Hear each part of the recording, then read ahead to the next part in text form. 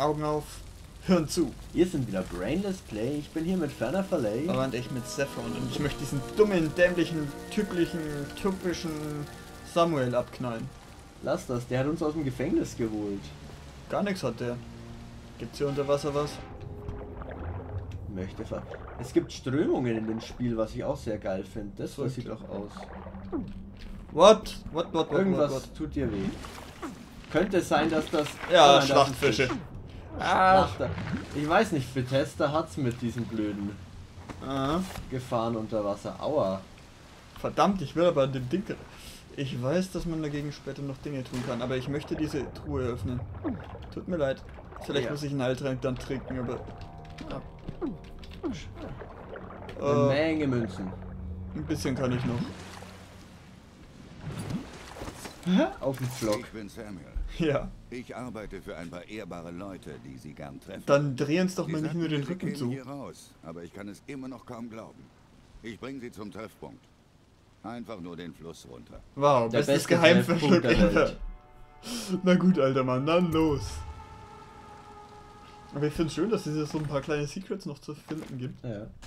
So, Gegner eliminiert 9. Zivilisten, Zivilisten, genau.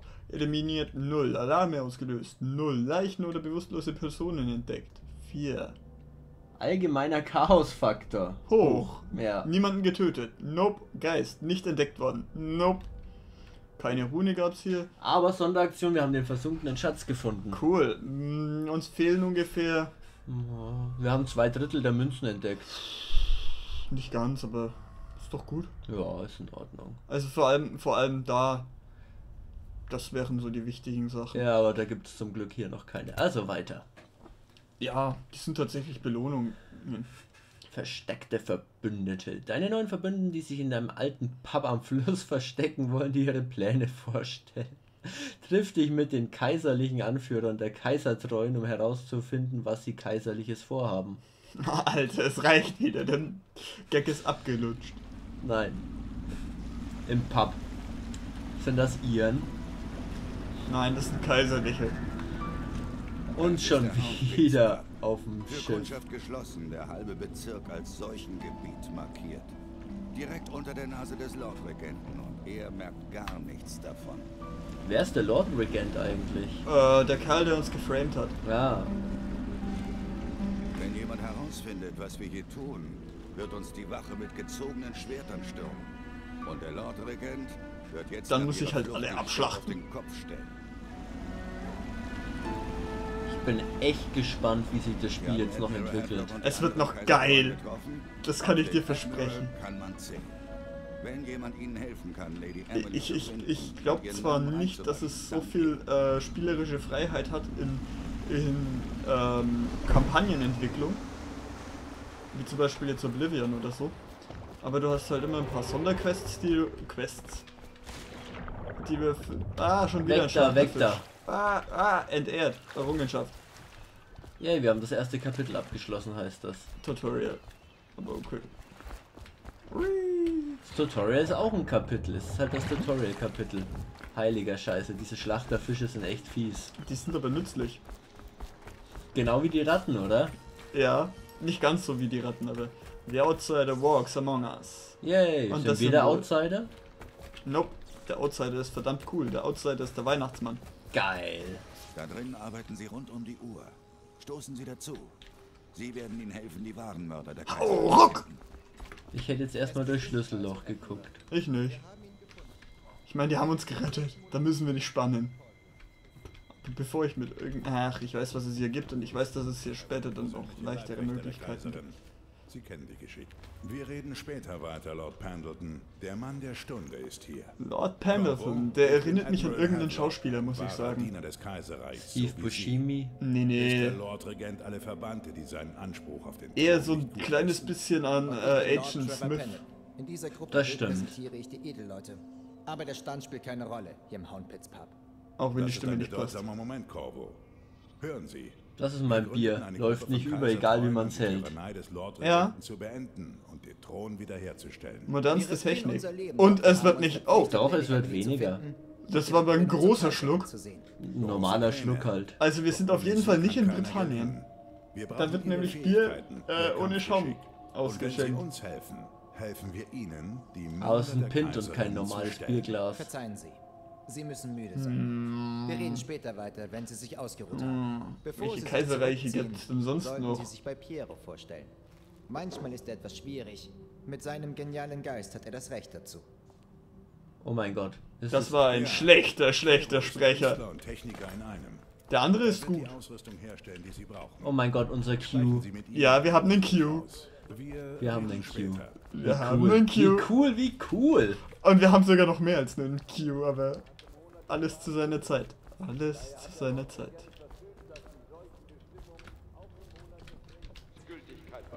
Unzerstörbare Tür. Warum baut man daraus nicht Häuser? Ich werde Ihre Waffen und Ausrüstungsgegenstände herstellen. Alles Einzelstücke. Für Sie fertige ich die Werkzeuge eines meisterlichen Attentäters an. Sau gut. Ein kleines bisschen wie Leonardo da Vinci in Nein, Assassin's Creed kann doch 2. nicht wahr sein. Der Walöltank ist ausgelaufen.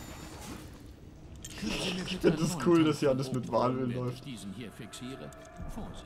Sternekarte, sau gut. Eine große Sauerei, wenn es explodiert. Oh, hey, Moment, Moment, daran könnten wir... Pandysianischer Kontinent. Die Inseln sehen ganz klein bisschen aus, aber Ja, eigentlich wie, äh, vielleicht wie ein zerlaufenes. Also, äh, das war bloß Geld. Ah, Schraubstock. Whee! Whee! Wie nützlich. wow, cool. Eine zweite Lösung. Auszug aus einer Reihe von Zeitungsartikeln von Wollen wir das wirklich vorlesen? Naturphilosophen. Hier Piero Joplin. Nein. Doch, doch, das ist wichtig.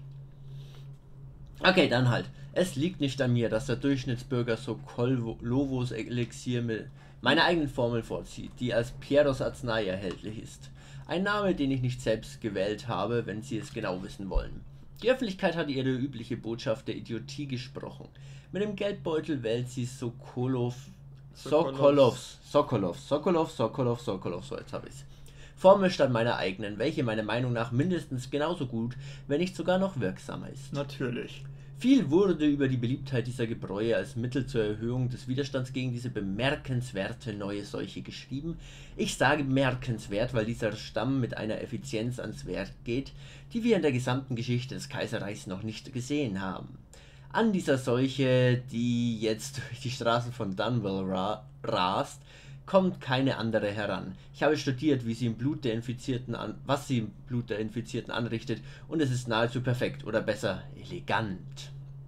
Und während es stimmt, dass Pieros Arznei und Sokolovs Elixier bekannterweise gleichermaßen den Körper gegen die Seuche schützen, besitzt meine Mischung Zutaten, die noch nicht komplett erforscht sind, aber die sich an Geist und Seele richten. Und dadurch gewinnt meine Formel dann doch. Hier sollte das Interesse des Zuschauers geweckt werden worden sein, denn wie Sie sehen, ist Sokolovs Elixier mit seinem Schwerpunkt auf dem brachialen animalischen Körper eine krasse Schmiere, die sich besser für Viehzeug eignet. Die feine und geheime Varianz in den Wirkstoffen stellt sicher, dass Pieros Arznei sich an jene höhere Funktion richtet, die uns von den geistlosen blaukieferigen Hexenfischen unterscheidet, die im Brennhafen herumschwimmen Okay, die Viecher heißen Hexenfische. und uns anknabbern. Pieros Anfrage wird nicht stattgegeben. Oh mein Gott. Piero, nein! Böser Piero, aus! Sitz, Platz! Piero, nein, ich werde diese Einkäufe nicht autorisieren. Ein Beutel zerstoßener Kristalle, tyvianisches Erz. Warum können Sie nicht die wunderbaren Metalle von Crystal? Crystal, wirklich. Nutzen. Federn von Kingsborough? Kennen Sie Federn? Wenn Sie Federn brauchen, sehen Sie in Ihrem Kopfkissen nach. Vielleicht haben Sie in der Akademie alles automatisch und ohne Prüfung bekommen, aber das hier ist mein Unternehmen oder das, was davon übrig geblieben ist. Und wir haben nur ein begrenztes Budget zur Verfügung. Wir haben schon kaum noch Öl, Essen, Elixier, Baumaterialien und alles andere. Also müssen Sie sich etwas einschränken, solange ich die Rechnung zahle, äh, bezahle. Werde ich Ihre Einkäufe nicht abzeichnen, solange sie nicht absolut notwendig sind. Kein Kupferdraht mehr, keine seltenen Kräuter. Und wenn Sie diese Dinger benötigen, gehen Sie vor die Tür und sammeln Sie sie selbst. Halb Dunwell liegt im Trümmern, also wird niemand etwas vermissen, wenn Sie sich das alte Zeug nehmen. Bla bla bla. Wunderbar. Und wir schnappen es ihm weg. Ja. Das ist ja auch Kyo und nicht Pietrov. Wow, wir haben ihn geöffnet und jetzt schließen wir ihn wieder. Ordnung muss sein. Äh, Eine Wahlvivisektion. Vivisektion, Halleluja. Auszüge aus den Notizen eines Naturphilosophen unterwegs auf einem Walfänger. Bemerkenswerterweise besaß jedes Wesen, das zu studieren mir auf dieser Reise vergönnt war, geringfügige physiognomische Unterschiede. Östlich von Thyvia, auf dem zweiten Abschnitt unserer Reise, erlegte die Mannschaft ein Weibchen, etwa 42 Fuß lang. Meinen Schätzungen nach wog es etwa 35 Tonnen. Das Schiff lag tief im Wasser und wogte die ganze Nacht hin und her, während das Weibchen mit dem Tode rang. Im Kerzenschein führte ich meine Vivisektion durch, zeichnete Skizzen und machte Notizen. Unter lautem Gebrüll schnitt ich in die Tentakel um den Mund des Was sind das denn für Weibchens. Wale? Darin fand ich viele Zahnreihen und eine Barte im Oberkiefer. Ich vermute, dass durch diese siebartige Struktur Nahrung aus dem Wasser gefiltert wird, Oh die das Tier mit seinen Gott. Zähnen nicht kauen kann. Das ja. sind Bartwale. Tentakel? Ja. Du bist dran. Mm, Wollen wir. Ja, gut. Äh, aufgrund der immer größer werdenden solchen Krise hat der Lordregent die Position des Totenzählers geschaffen. Wow, cool. Die nur von Junioroffizieren oder Offizieren mittlerer Ränge bekleidet werden kann. In den meisten Fällen, in denen ein Erlass oder eine Ausgangssperre vollstreckt werden muss, untersteht die betreffend, äh, unterstehen die betreffenden Offiziere dem derzeitigen Offizier vom Dienst. Das ist ziemlich viel militärisches Gefasel. Ja. Jeder Totenzähler hat jedoch in der Situation die Befehlsgewalt, die mit der Seuche oder der Abfertigung der Toten zu tun haben. Inklusive der Personen, die unter fortgeschrittenen Symptomen leiden, die im Volksmund Weiner genannt äh, Ja. Werden. Ab dem Monat des Regens können sich Offiziere zu einem Eignungstest anmelden und nach Bestehen an einer zweiwöchigen Einführung teilnehmen. Die Position wird mit Gold- und Elixierrationen von eineinhalbfacher Qualität vergütet. Wow, das ist eine coole Position. Ja. Klingt Okay. Und ich krieg die fehlgeschlagenen Experimente. Gut. Auszug aus einer Vorlesungsreihe über die Naturphilosophie gehalten von Piero Chopin. schon Joplin. Joplin Chopin. Piero ist nicht wirklich französisch. Piero Chopin. Natürlich habe ich versucht, Sokolovs Entwürfe zu verbessern. Selbstverständlich.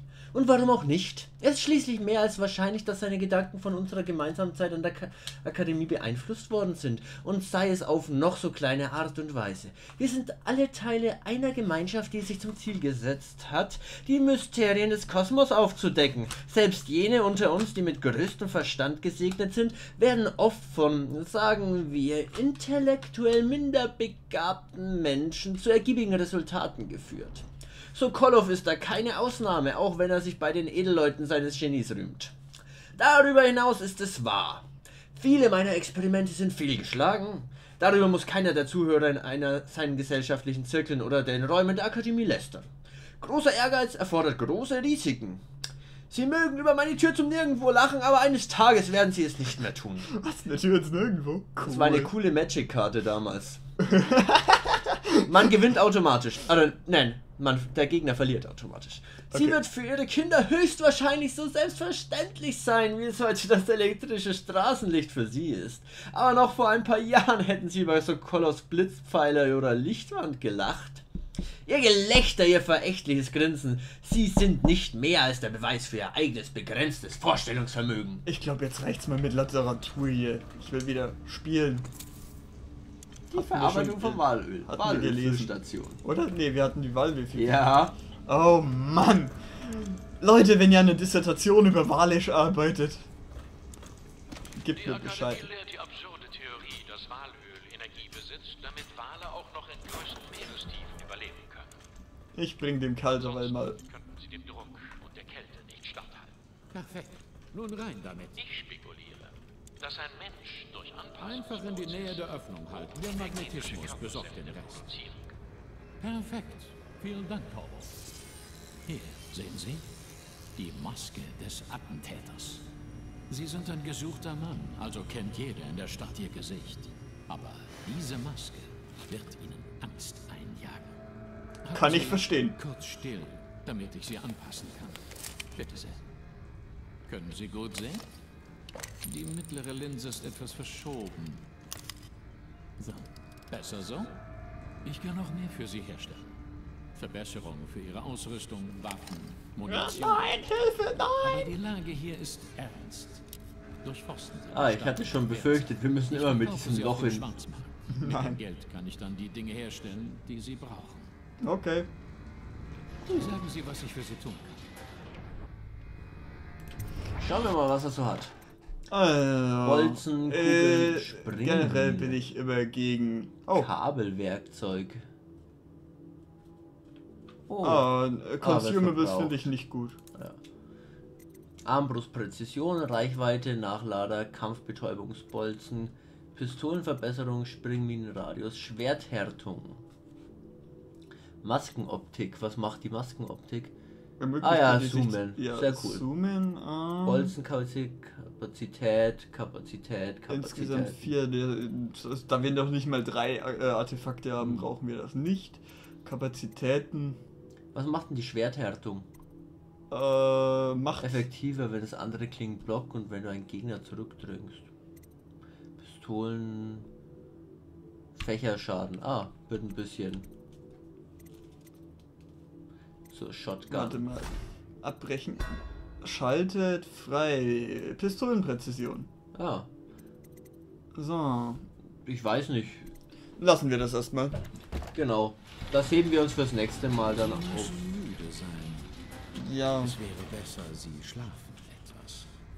Ihr Leben wird bald noch viel komplizierter. Nutzen Sie die Ruhe. Okay, Creeper. Genau. Sie müssen es wissen. Ja, wir sind gerade wieder frei. Lass uns doch mal ein bisschen frische Luft atmen. Wir Genau. sind eigentlich schon wieder in dieser Maske gefangen. Ja, aber das war's wieder für diesen Part. Falls es euch gefallen hat, Lasst uns doch ein Like einen Kommentar oder Abo da, und schaltet beim nächsten Mal wieder ein. wenn wir Hier eine noch ein weitere paar Zettel vorlesen. Abhandlung über Wale lesen. Genau. Bis dahin. Tschüss. Tschüss. Erstaunlich. Total erstaunlich, wir können Flaschen fallen lassen. Wir sind Genies. Aber wir haben halt jetzt das Level 2 Juden-Equip gekriegt, wenn du das anguckst. Aber ich habe das Gefühl, Äh. Äh. Moment, beim Brennen? Hatten wir die nicht schon? Ne, wir hatten eine Level 1. Ja, stimmt, aber welche war das? Die haben wir weggelegt. Ach ja, Wir haben- stimmt. Aber die Druidenrobe und so ein Scheiß ist einfach besser. Ja, ist ja auch ein Level